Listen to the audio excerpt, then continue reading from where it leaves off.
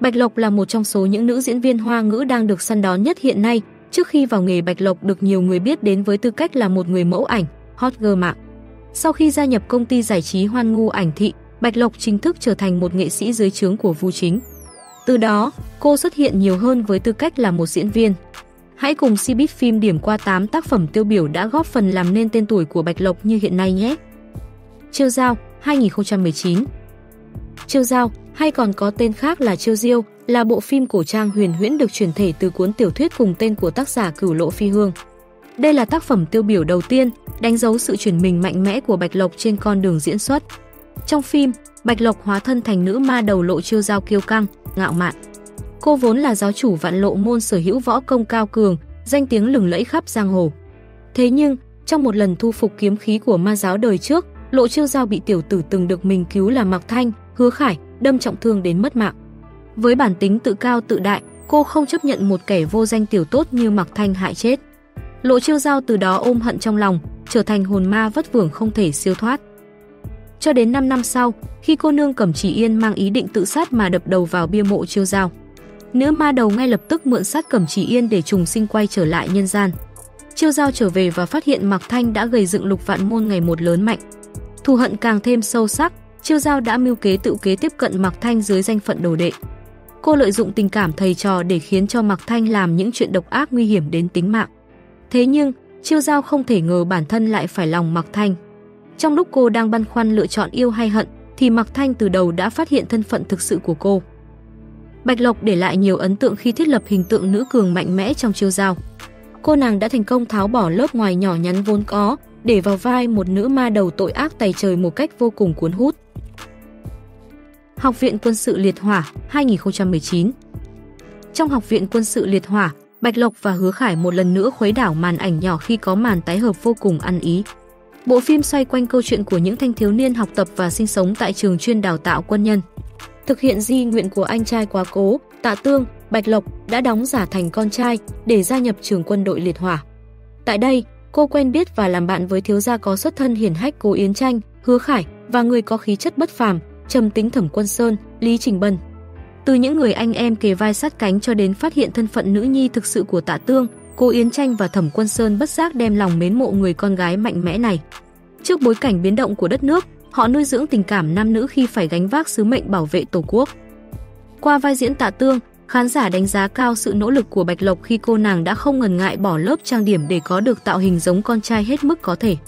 Ngoài ra, nữ diễn viên sinh năm 1994 còn cho thấy bứt phá trong diễn xuất, bằng lối diễn xuất tự nhiên, dễ chịu.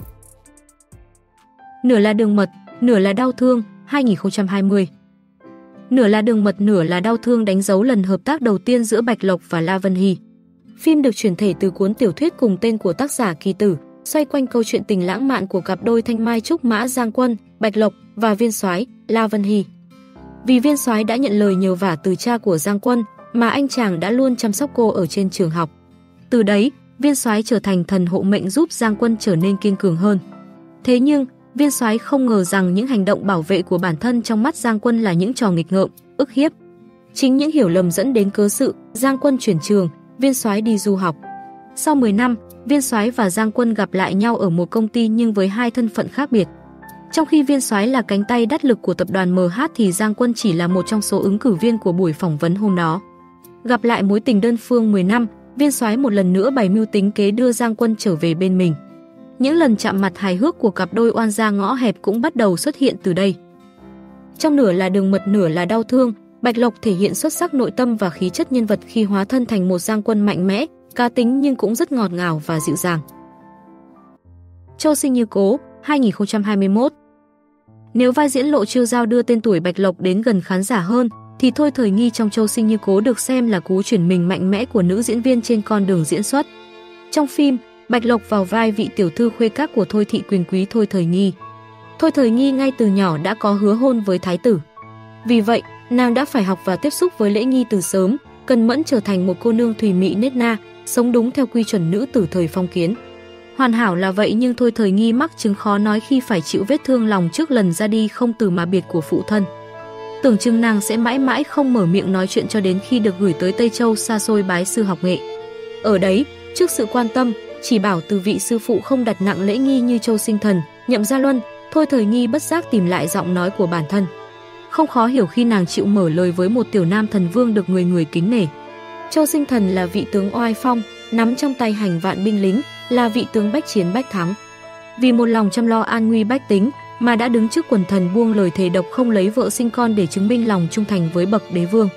Thế nhưng, Châu Sinh Thần không thể ngờ bản thân lại rung động với đệ tử thứ 11 của mình, người mà chàng hay gọi là thập nhất, Thôi Thời Nghi. Trước sứ mệnh và trách nhiệm đã định, Châu Sinh Thần và Thôi Thời Nghi đành dồn nén tình cảm nam nữ trong lòng. Cứ ngỡ sẽ sống an yên với danh phận sư đồ, nhưng mưu toán chính trị lại đẩy họ đến kết cục bi thảm. Với một nhân vật nội tâm như Thôi Thời Nghi, Bạch Lộc dường như hóa thân vào vai diễn khi bộc lộ được cái cốt cách của vị tiểu thư cao quý của nhà họ thôi. Không cần phải gào thét, chỉ cần thông qua một cái trao mày, Bạch Lộc cũng đã thể hiện trọn vẹn nỗi đau khổ đến nghẹn lòng của Thôi Thời Nghi khi mất đi người mình thương yêu nhất. Dù là Thôi Thời Nghi của gia tộc Thôi Thị hay thập nhất của phủ Nam Thần Vương, Bạch Lộc vẫn toát lên phong thái của người phụ nữ xưa, dịu dàng đoan trang, đằm thắm trong sáng. Một đời một kiếp, 2021 nếu Châu Sinh Như Cố đã định Châu Sinh Thần và Thôi Thời Nghi phải có kết cục bi thảm, thì một đời một kiếp lại mang đến một cái kết trọn vẹn hơn cho cả hai ở thời hiện đại.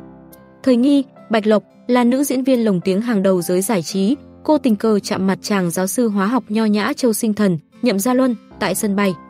Cả hai vừa gặp mà như thể đã quen từ lâu, không ngần ngại trò chuyện dù đối phương là người xa lạ. Gác lại niềm đam mê nghiên cứu, Châu Sinh Thần quay trở về nước gánh vác sự nghiệp gia tộc.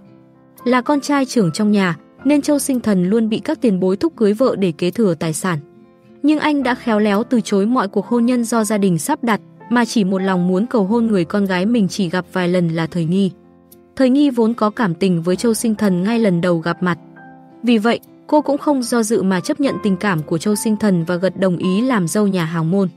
Bất chấp mọi định kiến về môn đăng hộ đối, Thời Nghi một lòng ủng hộ Châu Sinh Thần, cùng anh gánh vác gia nghiệp, vượt qua sóng gió gia tộc đầy mưu toan.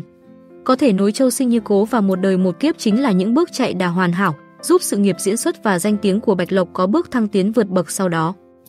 Trương Nguyệt Tấn Minh, 2023 Sự nghiệp diễn xuất của Bạch Lộc thăng cấp đáng kể khi tái hợp với bạn diễn La Vân Hy trong Trường Nguyệt Tấn Minh.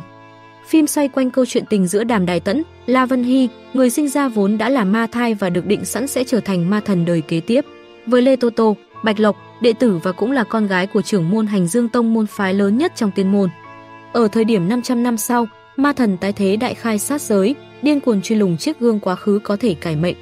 Mang trong mình dòng máu thần tộc và là con gái của Phượng Hoàng, Lê Tô Tô chính là người duy nhất có thể mở gương quay về quá khứ. Vì vậy, đệ tử và các trưởng môn hành dương tông quyết hy sinh thân mình để lập trận pháp đưa Lê Tô Tô trở về 500 năm trước. Với sứ mệnh tiêu diệt ma thần khi hắn vẫn là con người, giết chết ma thai, loại bỏ tà cốt của hắn. Quay ngược thời gian, Lê Tô Tô hóa thân thành tiểu thư nhà họ Diệp Diệp tịch vụ. Điều đáng ngờ hơn hết người mang tà cốt đàm đài tẫn lúc này lại là phu quân của nàng. Cả hai cùng nhau trải qua vô số biến cố và dần này sinh tình cảm. Dù sống trong thân thể của Diệp tịch vụ, Lê Tô Tô phải gánh vác sứ mệnh của một nữ thần là bảo vệ chúng sinh. Giữa tình yêu và trách nhiệm, Lê Tô Tô và Đàm Đài Tẫn đã vẽ nên câu chuyện tình bi thương ngược luyến tàn tâm ở tiên giới và nhân gian, xuyên qua ba kiếp luân hồi. Trong trường Nguyệt Tẫn Minh, Bạch Lộc đã thể hiện khả năng diễn xuất đa dạng khi đảm nhận ba vai diễn khác nhau trong cùng một bộ phim. Một Diệp Tịch Vụ bướng bỉnh, ương ngạnh, nhận được muôn vàn sủng ái. Một Lê Tô Tô mạnh mẽ ngoan cường, thông minh dũng cảm, hết lòng vì chúng sinh một nàng công chúa trai tộc tăng tửu trong sáng ngây thơ, yêu hận phân minh. Dĩ ái vi doanh 2023 Dĩ ái vi doanh được chuyển thể từ cuốn tiểu thuyết nổi tiếng trêu nhầm bạn trai, được trông như ý của tác giả Kiều Diêu. Bộ phim xoay quanh câu chuyện tình lãng mạn của cô phóng viên Trịnh Thư Ý, Bạch Lộc và tổng giám đốc trẻ tuổi thời Yến, Vương Hạc Đệ. Dù là một cô gái xinh đẹp và thành công trong sự nghiệp, nhưng Thư Ý vẫn bị bạn trai cắm sừng, ngoại tình với người phụ nữ giàu có. Vì tức giận, Thư ý cố tình tán tỉnh cậu của trà xanh, được cho là tổng tài thời Yến quyền lực, bá đạo. Trải qua nhiều tình huống giờ khóc giờ cười, Thư ý cũng chinh phục được trái tim của vị tổng tài lạnh lùng. Tuy nhiên, đây cũng là lúc cô nàng nhận ra mình đã cưa cẩm nhầm người. Thuộc dòng phim ngôn tình thần tượng quen thuộc, diễn xuất của Bạch Lộc ở Dĩ Ái Vi Doanh mặc dù không có quá nhiều đột phá so với các tác phẩm trước. Thế nhưng nhìn chung, Bạch Lộc vẫn thể hiện tròn vai một trịnh thư ý thông minh, nhí nhảnh, đáng yêu. Chemistry giữa Bạch Lộc với bạn diễn Vương Hạc Đệ cũng được đánh giá cao khi cả hai có những màn ân ái ngọt như ăn bánh. Ninh An Như Mộng 2023 Ninh An Như Mộng là bộ phim cổ trang được chuyển thể từ tiểu thuyết ngôn tình khôn ninh của thời kính. Phim kể về màn cải tà quy tránh của yêu hậu Khương Tuyết Ninh, Bạch Lộc sau khi được sống lại. Kiếp trước, nàng là một nữ nhân xinh đẹp, bất chấp mọi thủ đoạn mưu cầu quyền thế, dùng trăm mưu ngàn kế để lên ngôi hoàng hậu. Cũng chính vì thế mà Khương Tuyết Ninh trà đạp lên vô số tấm chân tình. Nàng sẵn sàng bỏ mặt thế tử Yên Lâm, Châu Tuấn Vĩ lúc gặp nạn để kết hôn với hoàng tử Thẩm Giới, người sau này trở thành hoàng đế. Vì nàng mà bậc quân tử cả đời làm quan thanh liêm như Trương Giả, Vương Tinh Việt cũng rơi vào cảnh lao ngục tù tội lỗi. Tưởng chừng nàng đã có tất cả trong tay thì đương triều đế sư Tạ Nguy, Trương Lăng Hách, người từng được nàng cứu giúp lại giấy binh tạo phản. Triều đình bị lật đổ, hoàng đế chết đi, Khương Tuyết Ninh cũng tự sát ra đi trong uất ức. May mắn thay nàng lại có cơ hội sống lại một lần nữa, trở về thời điểm tất cả những bi kịch vẫn chưa xảy ra. Với cuộc đời mới mà ông trời ban cho, Khương Tuyết Ninh một lòng hướng thiện, sửa chữa những sai lầm, bù đắp mọi tiếc nuối, thay đổi số phận của Yên Lâm, Trương Giả và cả chính mình. Trong Ninh An như mộng, Bạch Lộc đã duy trì diễn xuất ổn định. Một Khương Tuyết Ninh trước và sau trọng sinh có tính cách hoàn toàn khác biệt được Bạch Lộc thể hiện một cách xuất sắc. Lúc còn là một yêu hậu làm loạn triều chính, Bạch Lộc là một Khương Tuyết Ninh mang dã tâm độc ác, thủ đoạn. Ngay sau khi trùng sinh, Bạch Lộc lại mang đến một Khương Tuyết Ninh hiền hòa, mạnh mẽ, cơ trí, bình tĩnh đối mặt mọi tình huống. Bạn đã xem hết những bộ phim này của Bạch Lộc hay chưa? Đâu là bộ phim yêu thích nhất của bạn? Hãy để lại bình luận để chia sẻ cùng chúng mình nhé. Còn bây giờ thì xin chào và hẹn gặp lại các bạn trong video tiếp theo nhé. See you!